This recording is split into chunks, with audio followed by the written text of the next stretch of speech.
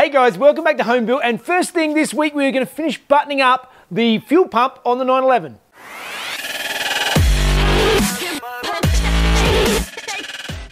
Okay, so those of you watching last week will have seen that uh, I got my fuel pump and fuel filter all mounted up and I got a couple of AN fittings on the hard lines up in here, but I need to actually make my AN lines to from my tank to my pump and also the return line back to the tank. So let's start making up some uh, AN lines.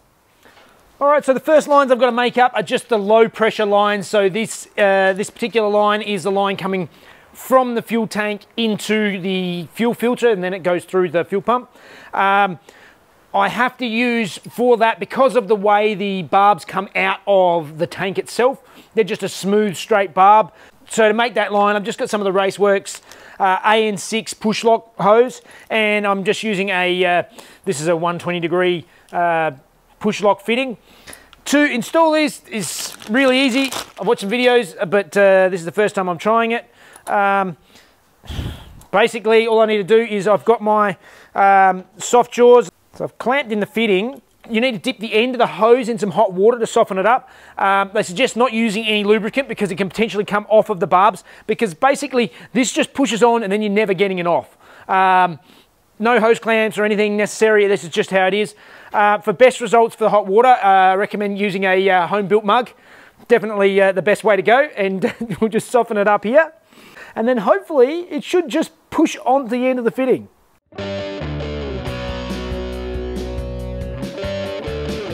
That's it, nice and simple, easy, done. So that's one, and the other one I'm going to do is, so that's the feed line, the return line, I'm using AN5 line, same thing, uh, just with a 90 degree fitting, so I'll do the same thing again, and we'll get these two ready to go, and then I can actually measure them up and get them set up on the car.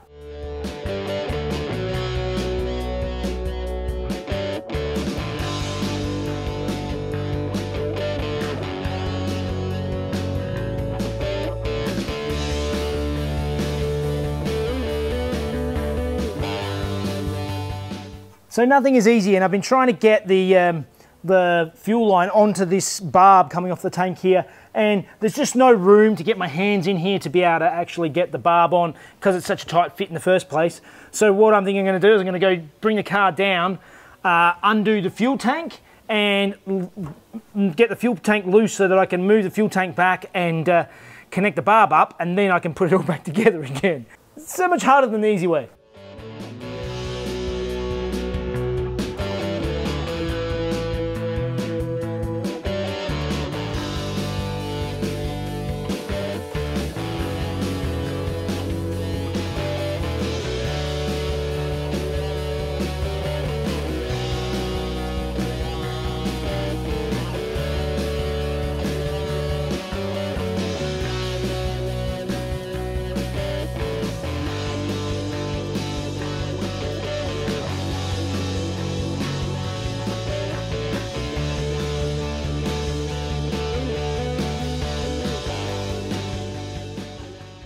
So as you saw, after a lot of messing around, actually physically pulling the tank out of the car, I came to realise that the, uh, the Dash 6 line is not going to fit. I was going backwards and forwards with Jamie from Raceworks over what uh, stuff to use. The issue that we have is that the um, AN stuff is, is basically sort of based on imperial sizes. These sizes on the tank are metric, so we're trying to get the best thing to match up with what is currently there. Um, from the fittings all the way, the rest of the way works great. It's just where I have to connect up to what the original stuff is because the lines out of the tank are actually 12 mil feed line and an 8 mil re return line. Now we managed to get the Dash 5 works quite well with the uh, 8 mil return line uh, going onto the tank, but uh, the feed line, yeah, we were actually, um, talking backwards and forwards, we've worked out we're going to go up to a dash 8 fitting, and uh, that should go on there quite well with a uh, hose clamp. Um, we'll see. Hopefully, it's um, it's it's a nice tight enough fitting, and uh, we can move forward. But um, it's a bit of trial and error here. So, um, all right, let's go back over and start working back on the engine. Okay, so it's time to come back over and start playing with the engine again, and um, before I can finally set it up for EFI, I need to install a couple more sensors and that's where I need to start putting on some knock sensors. Now, I've done a bit of research seeing where other people have installed them. There are a bunch of different locations. What I think I'm going to try and do uh, a lot of people use uh, the later 964 engines came out with a uh, with a bridge. So basically, it was uh, a spot where you could bolt the uh, the knock sensor onto this sort of bracket that joined up all three of the cylinder heads on either side. I am not going to go to that extent. I'm just going to drill and tap into the the center cylinder head on either side and and just bolt these straight on there Joining them together would definitely be a better option, but uh, for me, this is easy access. I can do this here, so that's what I'm going to do. So the current issue I'm having is that uh, I don't actually have a drill that's small enough to fit in here to uh, actually drill out this part of the head. But I do have a die grinder that I should be able to fit a 7mm drill bit in that can drill this hole out. Then I can then tap out with the 8mm tap. But um, I'm just going to have to modify the drill bit first and basically cut off the, uh, the end of this old drill bit and see if I can get it to fit into this so then it'll fit in here and it's a whole process.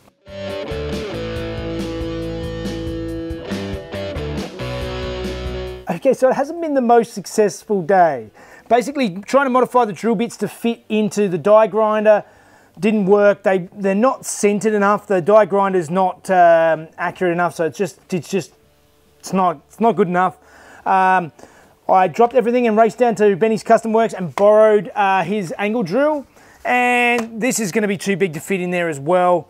Um, it's just, even, even, even if I could like modify a drill bit down small enough, it's going to be, it's not going to be a very good straight run to get the, uh, um, the knock sensor in there. There's just no easy way to be able to get a, uh, a drill in here. I know they are available. I will actually go onto Supercheap's website and order a, uh, an angle air drill. It's one of these things that I needed to get for ages, but um, it's uh, I'm going to bite the bullet and go and do it. It just, when it comes up, you need it right now.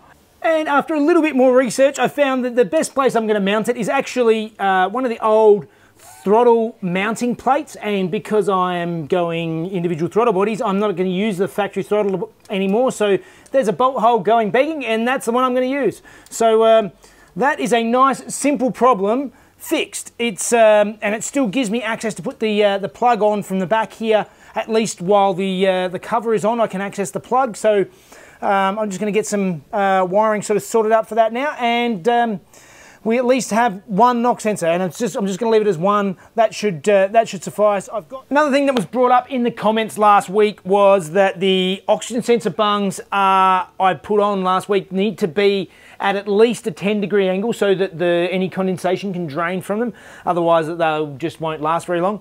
Um, I checked the other side is, is good. This side is definitely too level. So what I'm going to do is I'm going to try and cut it off and see if I can just tilt it just a little bit and, uh, and re-weld it on and sort that out. So um, thank you for uh, pointing that out. I am a complete noob with all this stuff. So um, let's uh, go through and repair that right now.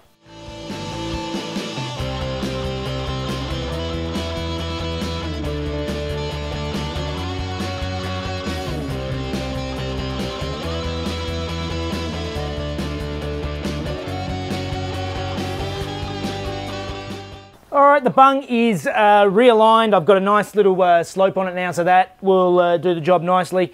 Next thing I'm going to tackle, I actually still couldn't find my uh, engine crossbar, so I bought one.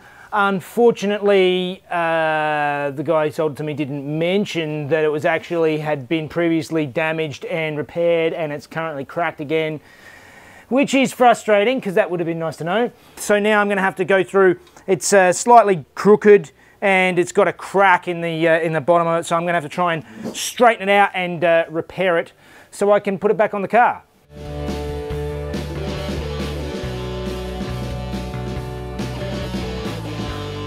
Okay, engine brace is repaired, so that can get painted up and remounted onto the engine. But moving forward, I can finally install the wires onto the back of the alternator and then put this uh, the orange uh, engine cover on it's getting close to the fun bit. I'm looking forward to the fun bit.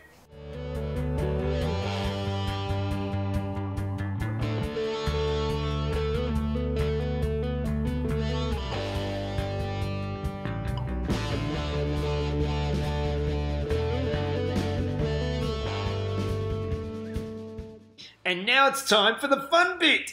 I've been looking forward to this, the nice new shiny uh, RHD ITBs that I'm fitting now, the individual throttle bodies for those who don't know the lingo. These are a beautiful billet piece of gear and they actually have individually adjustable butterflies on each one so you can set them up and as opposed to some of the ITBs which have a single shaft going through and they're all running on the one thing. These can all be individually adjusted so you can get the perfect idle uh, over every cylinder. It's uh, These things are a work of art. They're a beautiful piece of gear. I'll put a link in the description to the RHD website. These things are so pretty. I've been looking forward to putting these on for so long. Yeah.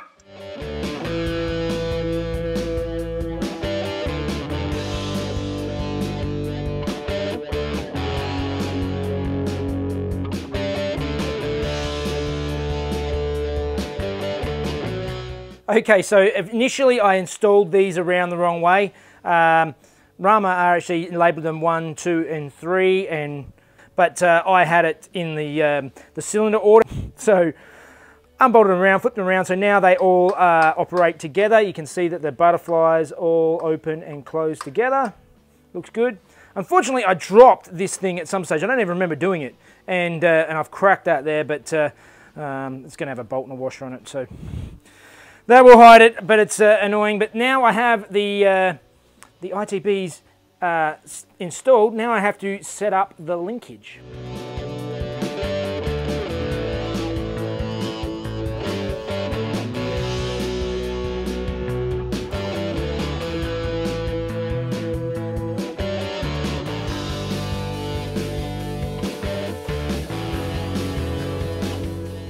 Oh, they're so pretty. I like it. Uh, I've finally managed to get the, uh, after a little bit of playing around, sort of working out how things are supposed to go, I've got the uh, linkage all set up now. Um, now I'm not setting up the throttle just yet, the, uh, the, the rest of it. I've got to put another linkage onto this shaft to actually set up the throttle itself, but that's uh, still to come. For now, uh, it's time to start looking at fitting some injectors and fuel rails.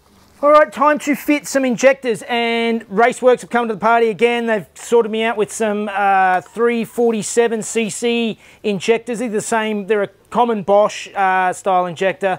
Uh, these are the ones used on V6 Commodores, supercharged V6 Commodores, I believe. So very common part. I think they're good for 350, 400 horsepower. This engine is not going to make that, so I've got plenty of room to go. Uh, so now it's time, I'm just going to use a little bit of WD-40 to uh, uh, lube up the seals and fit them in and fit the, um, the fuel rails in.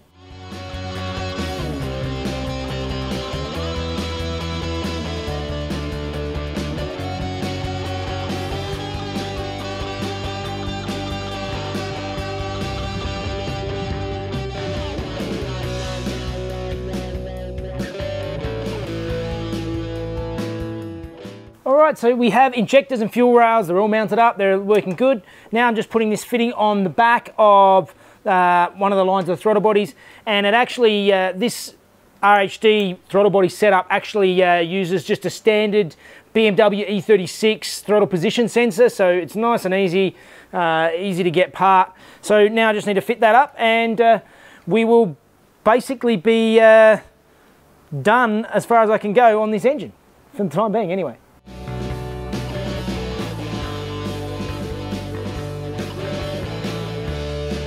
Oh, these look nice. This is so nice and shiny. I've been looking forward to putting this stuff together for a while and it's great to see it on the engine. Lots of wiring to do uh, as of pretty much next week. I think I'm going to be having to start getting into doing some wiring looms. But um, as you might have noticed, shirt change, etc., that this has been filmed over two days and Raceworks is so prompt that I actually have the, uh, the replacement hose that I only mentioned yesterday. It's already here. So um, let's finally just quickly go back over to the 911 and see if we can button up that fuel system. Finally.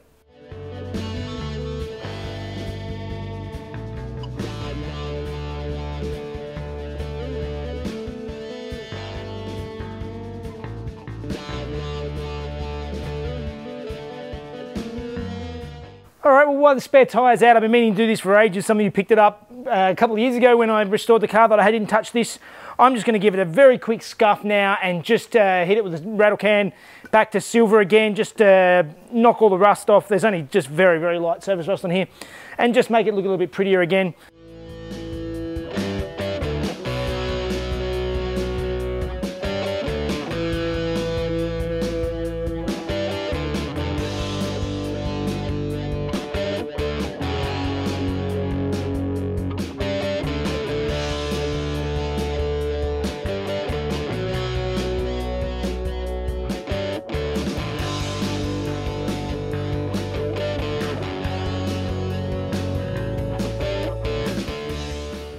So what you saw at the start of the video was me using the push lock hose and obviously that didn't fit. The new hose that they sent me out is their 120 series which has um, uh, it's, so it's a rubber inside with a um, with a braided out, outside edge. So and this fits perfectly over the end. It's a dash eight. So putting the fittings on this hose slightly different. Every hose seems to be just uh, a little bit different depending on what it's made up of. Uh, this particular one I've taped up where I want to uh, put the fitting. I'm just going to cut the, uh, the end of it off. Uh, the other end I can uh, make to length later. Using the hose cutters, I cut straight through the tape so I get a nice clean cut. Trying to keep it square. There we go, nice square, straight cut. With my fitting, I take the, uh, the end off and I take the end and just put that into the jaws. Take my tape off of the end of the hose and then try and insert it into the end of the hose. So I push the end of the hose in until it is uh, just level with the start of the threads on the inside and I put a piece of tape around the base to make sure it doesn't move when I start installing it. I've got my fitting now, it's in the, uh, in the jaws, so now I just need to slide this on and tighten it up. And there we go, one end on. So now we need to go and refit this up to the car and then work out how long I need it and connect it up to the tank. And hopefully, finally, we will have fuel lines, or one of them. It's taken much longer than I expected.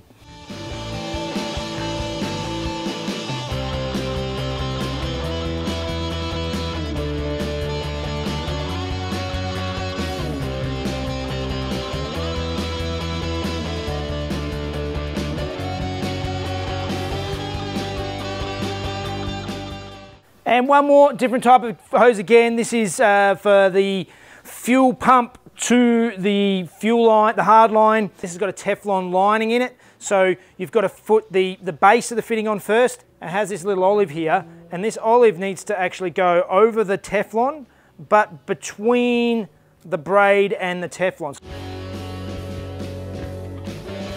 Once the olive's in the end with the, uh, the Teflon in there, it's just a matter of putting the fitting in the vise, press it in, screw it up, she's done. Nice and easy.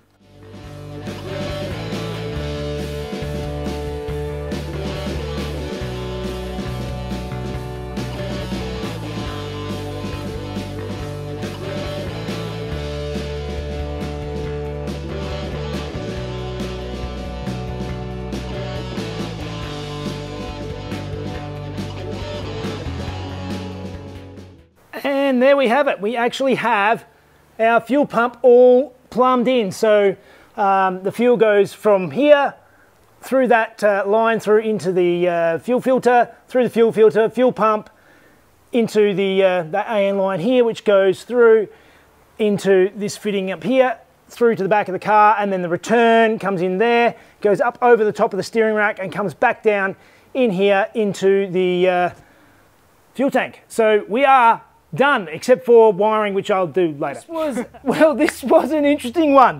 Uh, I went from having a horrible day yesterday, trying to get everything, just nothing seemed to work, couldn't get anything working, to um, a quite successful day today. And I have nice, shiny, shiny new ITBs. I'm, oh, I'm, love, I'm in love with these things. They look so nice. The action is so smooth and oh, they're gonna, they're gonna be good. All right, well, that is all for today. Uh, remember, if you need any uh, Porsche parts, head down to PorschePartsByJeff.com. You can compare prices with uh, all the big sites all over the internet. Also, if you want to help out the channel, head down to the link in the description, go to Patreon, watch these videos a day before everybody else. You can also follow me on, on Instagram and Facebook, all at Home Built by Jeff. All right, guys, see you next time.